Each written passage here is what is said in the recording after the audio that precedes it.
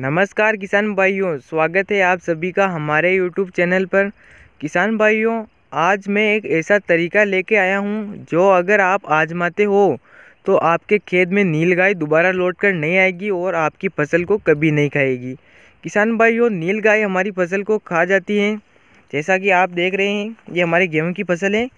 नील गाय इसको पूरा तर, पूरी तरह से खा चुकी है। अगर नील गाय फ़सल को एक बार खा जाए तो क्या होता है कि नील गेहूँ की फ़सल में वापस से फुटान नहीं होता है और गेहूँ की फ़सल ख़राब हो जाती है और उतना उत्पादन नहीं दे पाती।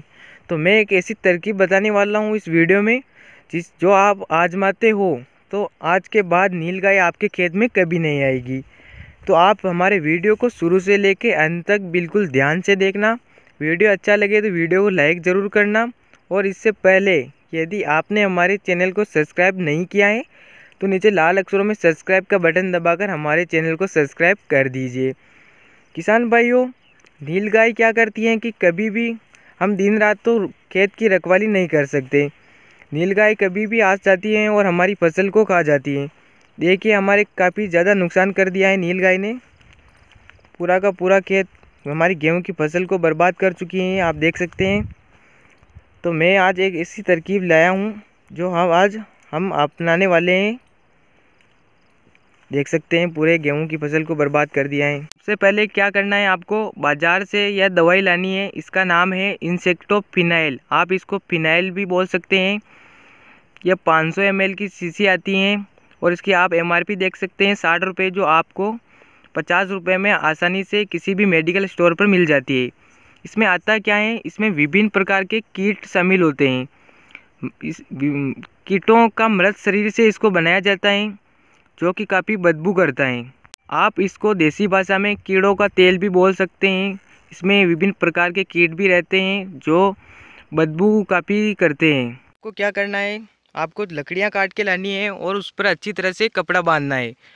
आप अपने खेत के हिसाब से लकड़ियाँ कम ज़्यादा ला सकते हैं और उसके बाद क्या करना है? आपको उस पर दवाई डालनी है। इस प्रकार आप उस पर दवाई डाल सकते हैं। और इसको आप कहाँ पर रोपना है इसको? जहाँ पर आपकी नील गाय आ रही हो, जिस तरफ़ से आपके फ़सल में नील गाय आती हो, या जिस पर जहाँ पर आपकी नील गाय आपकी फ़सल को खा चुकी है, उसको वहाँ पर आपको रोप देना है इस प्रकार। और उस पर अच्छी तरह से दवाई डाल देना है। में जिस जिस स्थान पर नील गाय आती है, या उस उस तरीके उस उस जगह पर आप ऐसे तरीके कर सकते हैं। लकड़ी रोप कर आप उस पर कपड़ा बाँध कर उस पर दवाई डाल सकते हैं। होगा। इस पर दवाई डालेंगे तो दवाई बदबू करेगी और नील गाय आपके खेत में नहीं आएगी। यह इतनी ज़्यादा बदबू करता है कि आपके हाथ पर भी यह गिर जाती है तो हाथ से दो तीन दिन तक बदबू आने लगती है। बदबू इतनी खतरनाक आती है कि आप हाथ को कई बार धो लेते हैं, उसके बाद भी बदबू नहीं जाती है। इस प्रकार आप लकड़ी पर कपड़ा प्लेट कर दवाई डाल सकते हैं। आपको दवाई दो तीन दो तीन दिन में डालना है, क्योंकि तीन दिन में बदबू कम हो जाती है और नील गाय आने का खतरा रहता है।